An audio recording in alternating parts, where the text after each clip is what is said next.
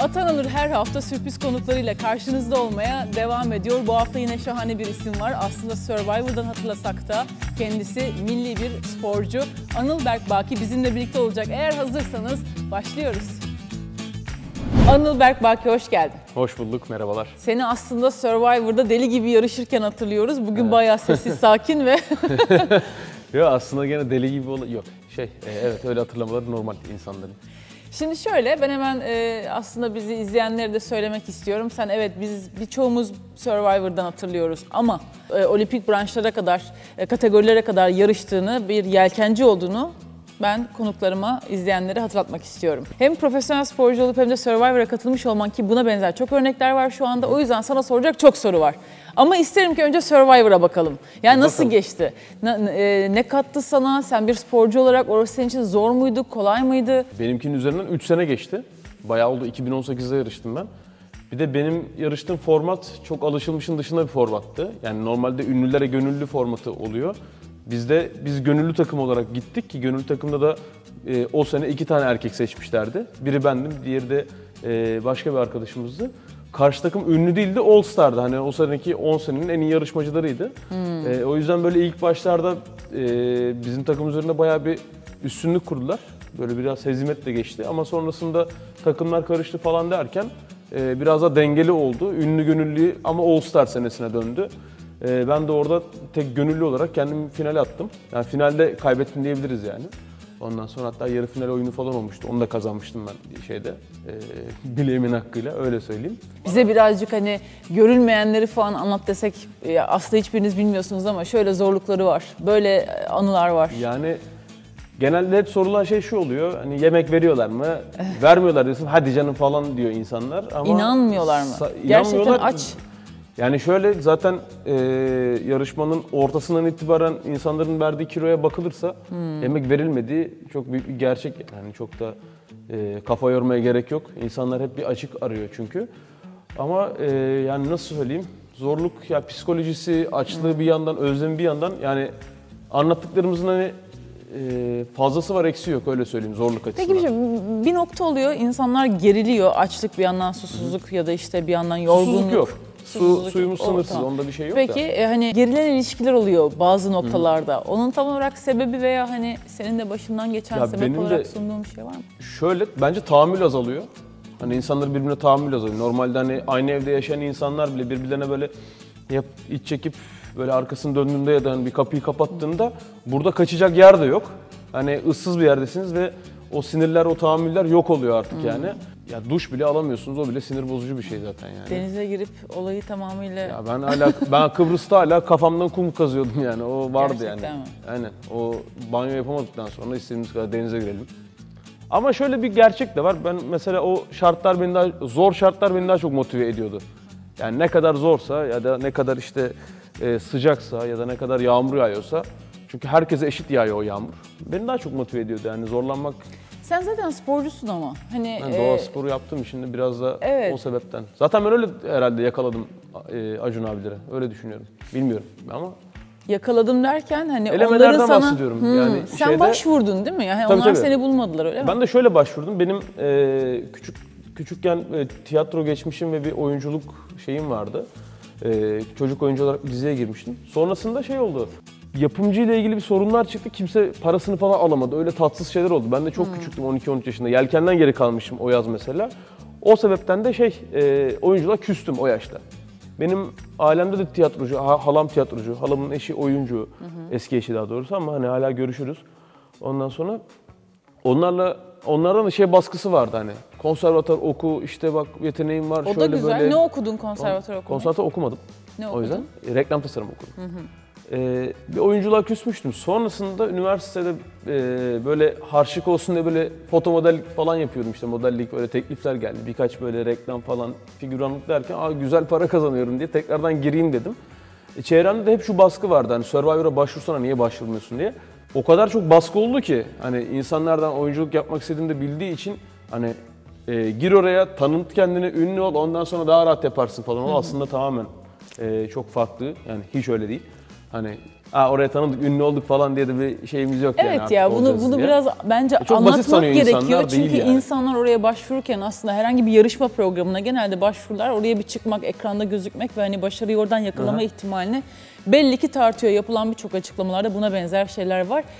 Bu da bir garanti değil değil mi? Kesin değil. Zaten o amaçla oraya gitmemek lazım. Ha ben ünlü olayım da bana yeter diye. Ben elemelerde şunu dedim. Ben hani doğa sporu yapıyorum. Zaten denizde bizim bir hafta geçirdiğimiz de oluyor. Çünkü İstanbul'a çıkıp Bodrum'a kadar açık denizde yarışıyoruz. Erza ona göre bölüyoruz. Suyumuzu ona göre bölüyoruz falan. Yani onu söyledim elemelerde yakaladım derken. Ee, bir de şey söylemiştim. Ben nasıl bir insan olduğumu Türkiye'ye göstermek istiyorum demiştim. Orada böyle bir sessizlik olmuştu. Ondan sonra biz Berkan'la da elemeler tanışmıştık benim sezondaki elemelerde. Ondan sonra e, öyle gittim, yarıştım, geldim. E, benim için mesela Survivor Kıbrıs'taki finalden sonra bitti. Ben bitirdim olayı. Herhangi bir katkısı oldu mu senin kariyerine, sana ekstra kazancı ya da bir şeyi var mı? İlla ki katkıları var. Şeyde yani sosyal medya olarak var bir kere, tanınmışlık olarak var. Ben kendimi iyi tanıttığımı düşünüyorum Survivor'da. Ee, hatta bazılarına göre Survivor'ın gidişatını değiştirdin diyorlar şu açıdan. Eskiden böyle kavga, gürültü, höt böt falan yapanlar böyle biraz daha e, göz önünde oluyorken ben onları biraz daha göğsümde yumuşatarak ve hani Onları yapmadan başarı onları yapmadan da bir yerlere gelebildiğimi yani finale çıkabildiğimi ve e, son anda kaybettiğimi gösterebilmiş oldum. E, Ondan sonra da e, dikkat ettiğimde de yarışmacılar daha yani benim sezonumdan sonra da bunu ben yaptım demiyorum da belki büyük bir etkenim yani. E, ama biraz daha ılımanlaşmaya başladı insanlar yani bunu bu yarışan arkadaşlarım da söylüyor zaten. Peki. S- e, teklif geldi mi? Dizi oyunculuğu ya da işte reklam geldi, teklifi. Geldi. E, zaten sosyal medyada işler yapıyorum ama e, ben çıkar çıkmaz mesela iyi bir eğitimle e, bunu devam ettirmek istedim. Çünkü evet yani çıktığımızda ki güzel bir sezon geçirdik biz. Yine annenlerin dediğine mi geldin? Hani Hangisi? sana işte konservatuar oku diyorlardı. Sen istemiyordun Yok, o yıllarda. Şimdi eğitim derken hani onun da eğitim- ama, yine oyunculuk eğitimi. Ailem sağ olsun ben ne yaptıysam hep arkamda durmuşlardır yani. Hiç yok Tabii. işte bunu okuyacaksın, şunu niye okuyorsun falan gibi şeyler olmadı. Hep e, kararıma, kardeşimin de kararına saygı duymuşlardır. E, eğitim ben kendim istedim çünkü bu öyle bir sektör ki e, çıkıp kendinizi rezil ederseniz se- direkt bitebiliyor. Yani toparlama şansı yok. Ve ben hani eğitimi alıp böyle e, hala da mesela yeni bitti denebilir eğitimlerim. Çünkü öğrenmenin de sonu yok, sınırı yok. O yüzden de ben o eğitimleri hep böyle e, yedire yedire, biri bitti diğerine devam ettim, diğerinden diğerine sektim. Öyle öyle, öyle öyle. E, kendimi hep eğiterek geçirdim mesela hani o zamanı. O arada tabii ki de ilk çıkar çıkmaz özellikle çok, e, yani çok demeyeyim de e, nasıl söyleyeyim? Aslında çok yani teklif geldi. Menajerlerden büyük baskı oldu. Ama ben böyle direkt atlam, atlayıp da o köpük şöhret vardı çünkü Sur- Survivor'dan hemen sonra. Hani insanların sizin üzerinize atladığı ama 6-7 ay sonra ben seni nereden tanıyordum ya dedi. Onu kullanıp da bir yerlere gelmektense ben yani sağlam gireyim istedim sektöre. O yüzden de biraz daha sabırlı hareket etmeye çalıştım. Hala da e, hareketimin arkasındayım yani. Tamam. Bunların Beraber. hepsi olurken aslında senin e, seni sen yapan işe dönmek gerekirse yelken, Yelken. kısmı hiçbir zaman e, hızını Evet. kesmedi. Aynı şekilde devam ediyor ama nasıl devam ediyor? Yani senin yelkencilik kariyerini konuşalım biraz. E, nasıl başladın? Şimdi neler yapıyorsun? Nasıl başladım? Ee, 98 yılında başladım ben Temmuz ayında. Ee, bakıldığında bayağı eski aslında. Hani insanlar öyle bir geçmiş beklemiyor.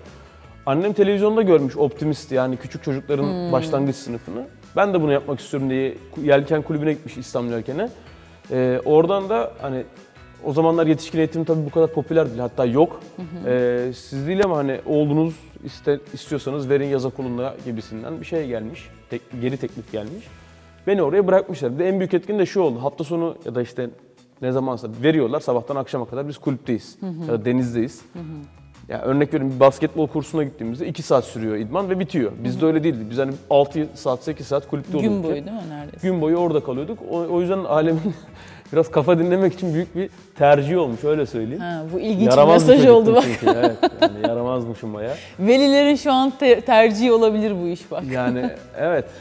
Ama yani devam etmemdeki en büyük sebep şu oldu. Çok arkadaşım bıraktı mesela. Çünkü e, mevsim geçtikçe de böyle e, korkunçlaşıyor. Hele ki o yaşta. Çünkü yani e, Hava şartları. hava şartları, yağmur, işte gri bir gökyüzü, e, uğultuyan, uğuldayan direkler, işte ufaktan çiselen yağmur falan derken böyle e, küçükken böyle bir tırsıyorsunuz yani.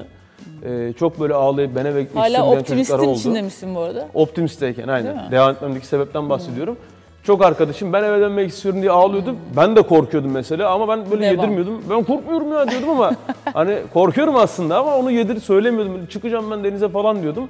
Ondan sonra öyle öyle öyle öyle devam ettim bir şekilde. Yarışçılığa kadar. şu anda hani yelkende aslında çok güzel başarılar da elde ediyoruz. Bir yandan olimpiyata da katılım sağlanıyor bu branşta hem kadınlarda hem erkeklerde. Nasıl görüyorsun bu gelişimi? Senin başladığın yıllardan bu yana e, neye bağlıyorsun bu arada? Paraya bağlıyorum tamamen.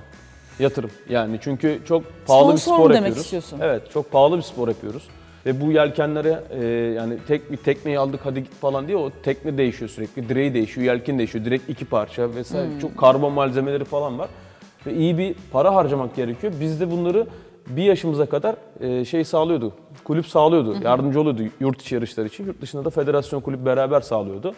Ondan sonra e, Seni yoğurmuş belli. ya şöyle mi? yordum. Ben bunu her zaman söylüyordum. Ee, pahalı bir spor yaptığımız için ülkede de yurt dışında sponsor bulmak daha kolay. Çünkü insanlar sponsorluk e, yani şirketler daha doğrusu daha cesur davranabiliyor. Bizde sponsorluk cebimden niye buna para vereyim ki kafasına bir daydı o zamanlar. Şimdi kadarıyla daha yani fazla tabii. sponsorluklarda hani şirketin vergisinden düşülen Evet bir ama nokta buna da var. yanaşmıyorlardı işte. Çünkü insanlar yelkeni bilmiyordu. Yani ben yelken Bu daha diyordum. doğru bir durum. Yani ba- bana üniversitedeki hocam biri aa kürek çekiyor musun hala diyordu. Ha çekiyorum dedim ben de artık insanlara anlatmaya bıraktım. Ha kürekçiyiz oldu yani. Kürek, kürek, değil, değil yani. yelken yelken mi? Bilmiyor ki insanlar işte yani yelken diyorum Çok üzücü. Böyle o ne ya falan yapıyorlar böyle. Yani yelkenin bir spor olabileceğini düşünemiyor insanlar. Konu yine geldi spor kültürüne. Yani Evet, Türkiye'deki yani. spor genel Çok bir, genel bir bakış değil mi? Genel Aynen. bir e, eğitime ihtiyaç var. Peki güzel bir sporculuk kariyerin var. Bir yandan Survivor da kattın içine. Başka hedeflerin arasında hani e, oyunculuk da deneyebilme ihtimalin var. Onun eğitimlerini aldın, kendin olabildiğince doldurdun. Ne yapmak istiyorsun? Yani mesela şu anda bugünlerin nasıl geçiyor? Pandemi sıkıntısı da var ama e, bu son dönemde e, senin gündeminde ne var? Ya gündem sürekli değişebiliyor. Ee, örnek veriyorum son geçtiğimiz 5 ayda ben 3 kere bir e, projeye girdim çıktım. Başka bir projeler hep böyle onaylandı. Bir Televizyon tanesi- projeleri. Aynen bir tanesi buhar oldu. Bir tanesi işte başka bir e, yapımı değişti falan. O kısım hani e, oyunculuk kısmı çok değişebiliyor. O kısımda kesin bir şey yani zaten işin içinde olanlar da bilir. Kimseye kesin bir şey söyleyemiyor. E, sete çıkmayı diyorlardı insanlar eskiden. O ekrana çıkmaya yani sete girdim. Televizyonda kendi görene kadar o garanti değil diyor herkes. O yüzden de hani onun bilincindeyim. Hani öyle bir paniğim ya da hemen çıkmam lazım falan gibi bir şeyim yok ama e, herhangi bir şekilde bir kayıt verirken bile o benim hoşuma gidiyor. Olmayan bir karakteri kafamda kurup analizi e, okuyup yaratmayı o benim hoşuma gidiyor. Severek yaptığım bir iş. E, iyi de yaptığımı düşünüyorum açıkçası.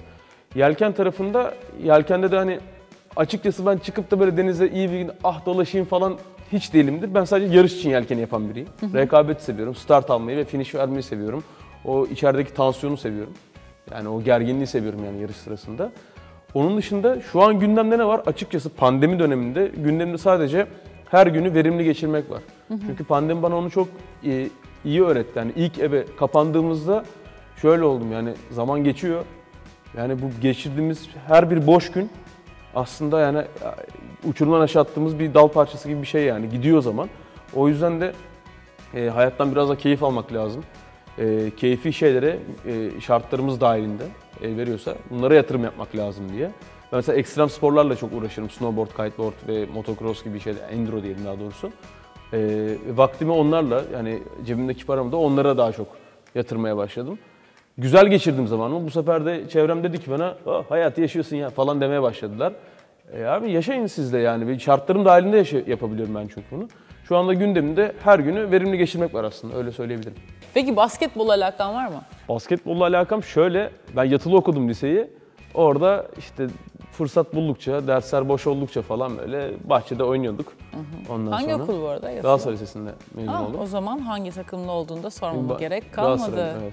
Ama şöyle bir yanılgı var. Benim en yakın arkadaşlarım da mesela Fenerbahçeliydi Galatasaray Lisesi'nde.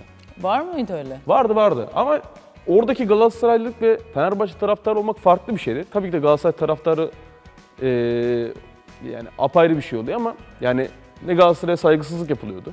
Biz Fenerbahçe taraftarlar. Onlar sadece top oynayan takımı destekliyorlardı.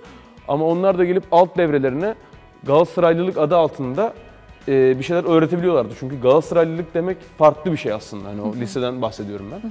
e, iyi Galatasaray liselilerdir ama Fenerbahçe taraftarıydılar mesela. Hep saygı duymuşumdur onlara da ama ben iyi bir Galatasaraylıyımdır yani. Maçlara falan giderim. Ondan sonra iyidir yani. Süper. Severim. Sana valla sohbetine de çünkü bir sporcuyla konuşmak gerçekten her zaman farklı oluyor. Heyecanın çok yüksek, yapacak işler çok. Çok da meşgulsün belli. Yolun açık olsun diyeceğim Teşekkür ben bu konuda ama eğer hazırsan bu sefer Atanalı'ra geçiyoruz. Bakalım. Yani Atan alacak yine. Yine de yarışacağız. Yani madem start vermeyi ve finish vermeyi seviyorsun, hazırsan basket- yapacağız onu. Direkt ısınma yok mu? Direkt atıyor muyuz? Ay, halledeceğiz onu da ısın. Tabii ki de ısınacak. Bakalım yani. O zaman başlıyoruz. Atan alır. Atan alır'ın bu bölümünde yarışma başlayacak ama oraya geçmeden önce bir iki tane sorumuz var tabii. Klasik basketbolla ilgili. Hazır mısın? Değilim. Değilim ya. Çalışmadan geldim. Olsun yani.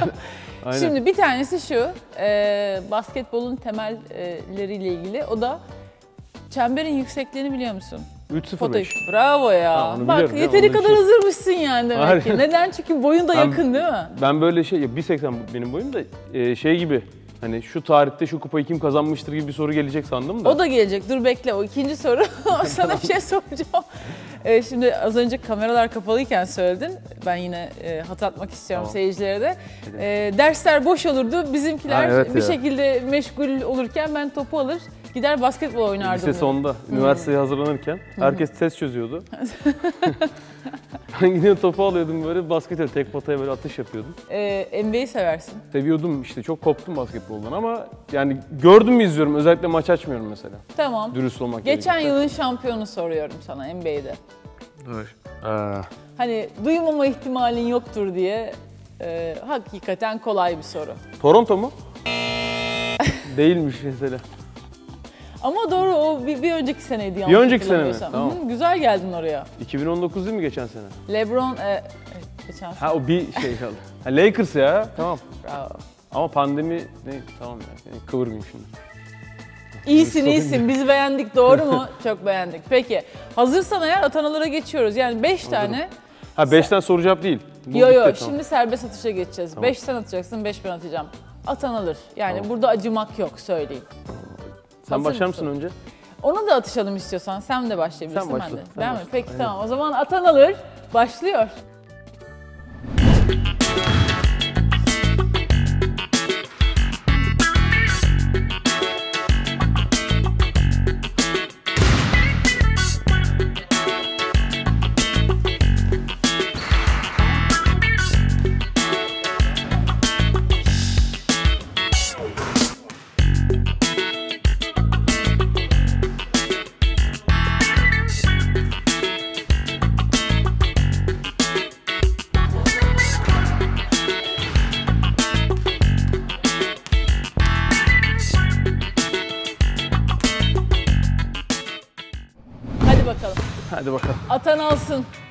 Hadi bakalım.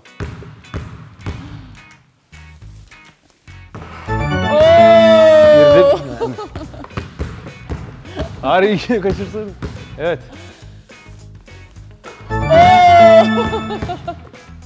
Isımada Atmama kaçırıyorum gerek kalmayacak bilerek. herhalde. Aynen. Isımada bilerek kaçırıyorum ki. Fark ettim onu. Şey, rahatlasın. Aa kaçtı. 3'te 2.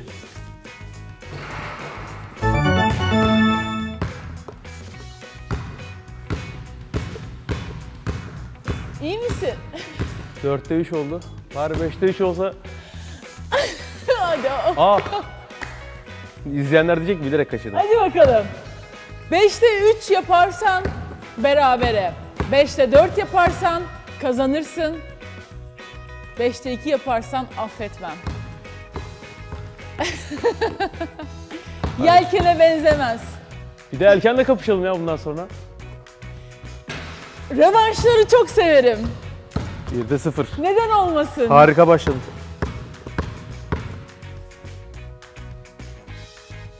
Oo! Birde bir.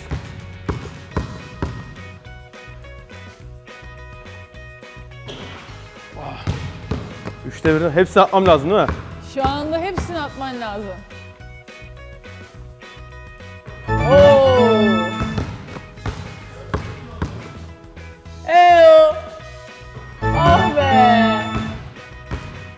O kadar mü? o kadar zorladım ama yine de attı vallahi. 5'te 3. Berabere. Hadi bakalım. İki tane daha atıyoruz yani Bu, ikişer bu tane bile daha. benim için bir zafer aslında ama. Bu bile senin için zafer. Aynen. Yalnız bende kaptanlık eğitim var öyle çok güvenme fena değilimdir yelkende. Evet, buyurunuz.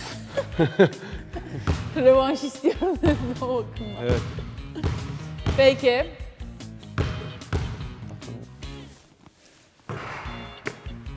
Kaç tane daha atacağız? İkişer tane. Oh. İkide bir. Ben şimdi 2'de 2 atarsam İkide iki atarsan senin. İkide bir atarsan berabere, ikide sıfır atarsan yelkene. vah. Kendim şaşırıyorum şu anda. Eyo.